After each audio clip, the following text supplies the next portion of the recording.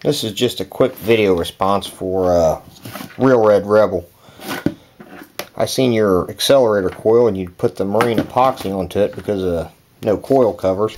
But here's a coil cover. They do make coil covers for it. I know you've already got the marine epoxy on there and there's nothing wrong with that. But just thought you might want to know that they do make a coil cover for it.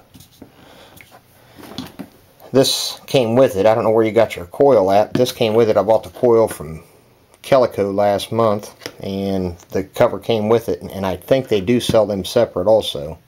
So I just thought you might be interested in seeing that.